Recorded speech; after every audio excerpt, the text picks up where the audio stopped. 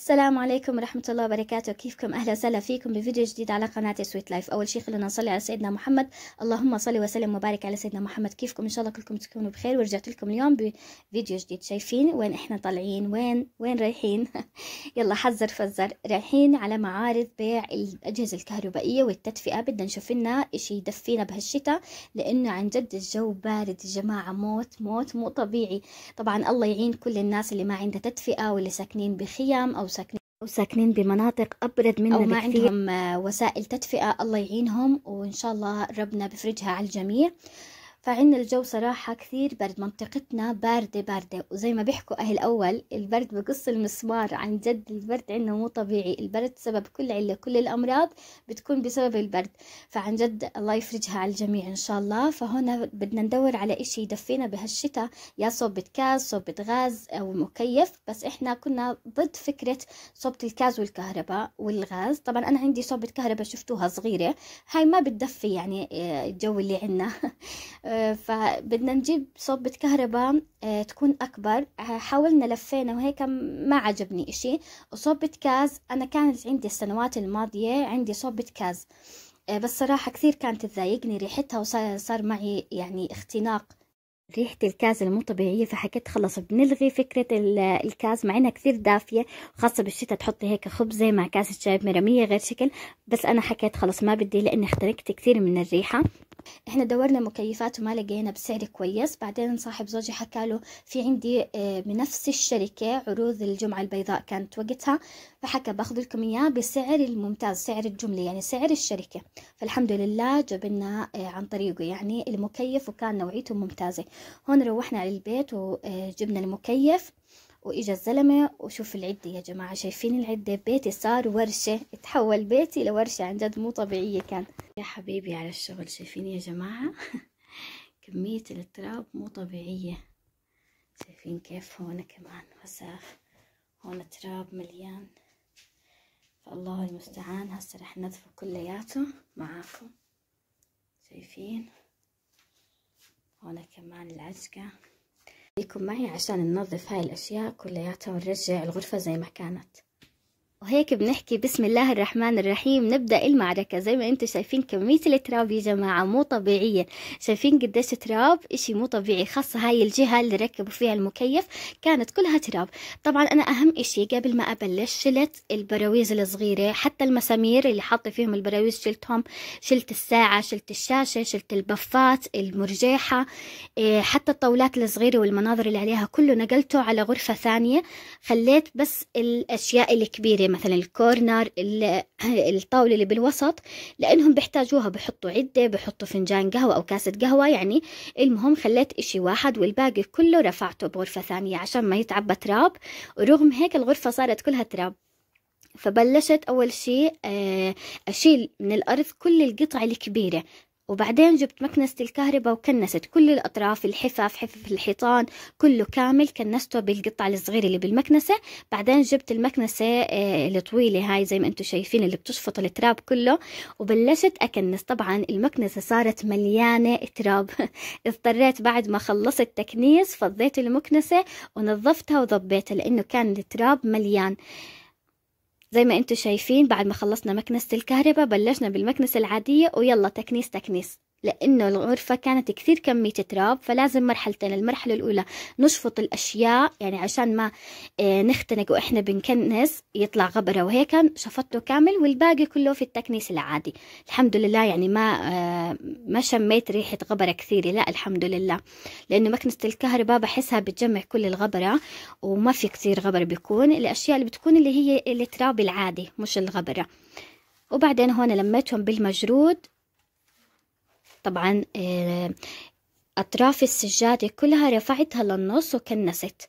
كامل. عشان ما يكون في أي تراب أو أي قطع حجر لأنه نزل كمان الحجر بتعرفوا لأنه عمل حفرة جنب المكيف عشان يحط البربيش فكله نزل حجارة صغيرة وهيك.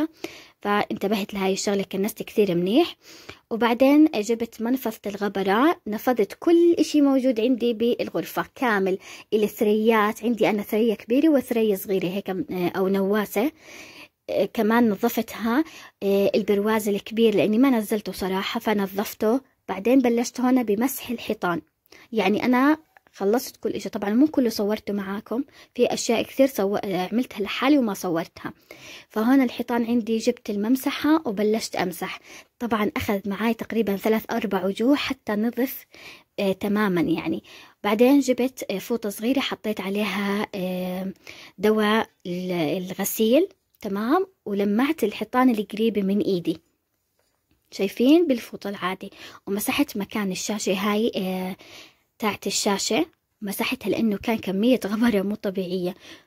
وكان فوقيها بقع آه، سوداء فكمان مسحتها. ومسحت آه، زرار آه، الكهرباء.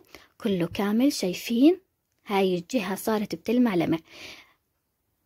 بعدين جبت الممسحة مسحت الأرضية. طبعا أربع خمس وجوه لما صارت نظيفة بتلمع لمع طبعا لازم في مي سخنة وشوي من المعطر معطر الأرضيات بتطلع معاكم غير شكل بتلمع لمع الأرضية زي ما أنتم شايفين. طبعا أنا رجعت مسحتها مرة ثانية بس إنه يعني أخلص مرحلة مرحلة. كان أهم إشي عندي مرحلة اللي فيها التراب هاي أخلصها بعدين باقي الغرفة. فخلصت أول شي جهة المكيف الحيط كاملة مسحتها يعني زبطتها خليتها مية بالمية بتلمع لمع. بعدين رجعت لباقي الغرفة. هون عندي طاولة الوسط فضيت كل اللي عليها كان في قهوة عملت لهم قهوة. كان في قهوة شلت الورد اللي عليها وغسلت الفرو اللي لونه زهري كمان غسلته ونشفته بالنشافة السريع. الحمد لله يعني الأشياء كلها تنظفت صارت تلمع لمع. بعدين هنا آه، بلشت أرجع الأشياء. رجعت المسامير رجعت البراويز بعد ما نظفتهم ولمعتهم. وهنا كمان طاولة الوسط أنا شلتها بس ما صورت معاكم. شلتها من الوسط وكنست السجادة كاملة وفرشيت السجاد وبعدين رجعت الطاولة فصار عندي كل شي بيلمع لمع الحمد لله. طبعا أنا ما قدرت أنزل البرادي أغسل ال ال وجوه المخدات تعون الكورنر لأنه كانت المي شبه بدها تنقطع وإحنا المي بتيجي عنا يوم الاثنين فحكيت خلص يوم الاثنين بغسل البرادي وبغسل وجوه المخدات. طبعا حتى الكورنر نفضته يعني ما تشوفوا إنه ما نظفت معاكم لا نفضته أنا بيني وبين حالي. نفضته كامل من الغبرة والتراب وكنسته بكنسة الكهرباء. والحمد لله كل شي صار باللمع لمع وهنا رجعت المرجحة المرجحة زي ما حكيت لكم أنا كنت شايليتها قبل ما يبلشوا فكانت نظيفة ما فيها أي شيء وهنا لمعت كمان الطاولات الصغيرة. هاي ما إيه ما إجا عليها تراب فحكيت لا خلص يلا نظافة ونظافة. وهدول الكراسي اللي استخدموهم كمان كانوا كلهم تراب حطيتهم في البانيو وفركتهم دعكتهم كثير كويس. بعدين آه، غسلتهم ببربيش الحمام يعني. لما صاروا عندي نظاف بالمع ولمع شايفين كيف الصابونة لازم على كل الكرسي عشان تصير بتلمع لمع لأنه كان كله تراب وهيك الواحد خاص ما بيرتاح نفسيا إذا كان في تراب. وبعدين شايفين كله اتغسل. حتى المكنسة اللي استخدمتها المماسح كل إشي حطيته بالبانيو ونظفته. طبعا كثير شغلات ما صورتها معاكم. حبيت أصور لكم مقتطفات بسيطة. بعدين هون زوجي بده يحط ال آه اللهم صل محمد العلاقة اللي بدنا نعلق فيها ريموت المكيف. جد كان الشغل يا جماعة متعب كثير كثير وخلصت الحمد لله كل إشي ونمت تقريبا على ثلاثة أو أربعة الفجر.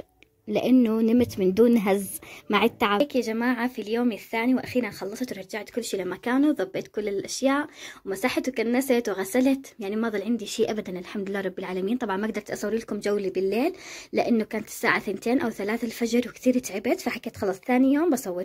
وهيك عندنا ثاني يوم زي ما أنتم شايفين كل الغرفة نظيفة ما شاء الله رجعت بتلمع لمع. شايفين؟ ما شاء الله. طبعا هذا الكتالوج. مثلا على الدرجات أو شو الحرارة المناسبة يستخدم الكتالوج يمشي عليه تمام؟ وهي عندي الواجهة اللي فيها المكيف. إيه كنا حابين إنه يكون مثلا هون فوق الشاشة أو جنب الشاشة بس حكالنا ما بيزبط لازم يكون على الطرف عشان إذا بنزل مي لا سمح الله ما تنزل على الشاشة. ويخد تخرب الشاشة وهيك فحكينا خلاص مش مشكلة.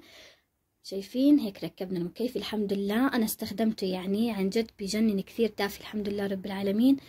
عن نوعيته أكس بس هو مكتوب عليه Prime يعني نوعية برايم. نوعيته 410 في 32 في 410 إحنا اللي جبناه 410 شايفين؟ هيك. هي خلصت كل شيء. الحمد لله. عن جد يا جماعة إنها لكت إنها حيل مزبوط. خليني أقرب لكم من قريب. شايفين؟ هذا نوعيته. أقرب لكم. وهنا ركبنا كمان الريموت. ركبناه هيك. طبعا بالسيليكون. هو بنحط له مسامير هون زي ما أنتم شايفين. بس حكينا لا ما في داعي إنه كمان نخزق الحيطان وإشي. حكينا لا خلص بنحطه بالسيليكون وبيثبت بالسيليكون شايفين؟ هي. خليني أشغله. طبعا قديش أنا حطيته على حرارة ثمانية وعشرين زي ما أنتم شايفين. طبعا في تسعة وعشرين في ثلاثين. شايفين تسعة وعشرين هي ثلاثين. واحد وثلاثين يعني في أعلى. بس إحنا صراحة بنحطه على ثمانية وعشرين أو تسعة وعشرين. وكمان الواي فاي إنه أنتوا تكونوا برا البيت آه تشغلوا المكيف وإنتوا برا البيت يعني. بس لازم يكون في نت بالبيت أكيد. وبس والله هاي الغرفة كاملة بعد ما خلصتها. الحمد لله. وكل شيء تنظف وترتب والحمد لله رب العالمين خلصت. لهون وصلت معاكم لنهاية الفيديو. إن شاء الله تكونوا استفدتوا واستمتعتوا. إن شاء الله بشوفكم بالفيديوهات الجاية. ديروا بالكم على حالكم تصبحوا على ألف خير يا أحلى عيلي في الدنيا. سلام.